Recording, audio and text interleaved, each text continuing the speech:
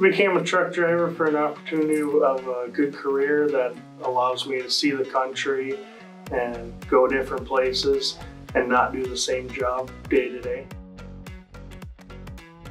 For me, I'm always looking at how I can advance myself and getting my CDL was the first big step and finding an opportunity that I could get paid to do it.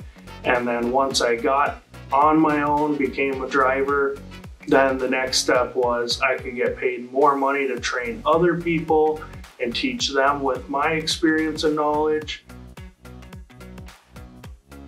There's a lot more money in flatbed and it's nice, get out of the truck, do tarping, strapping, securing loads, that kind of stuff.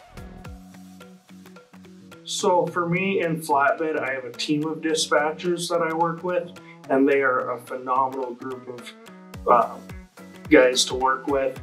They're very respectful of our what we want to do. They give us options. They don't just tell us this is where you're going. They give us options of what's available, let us kind of choose. As far as home time, they're very flexible with home time. If I want to go home, I just let them know.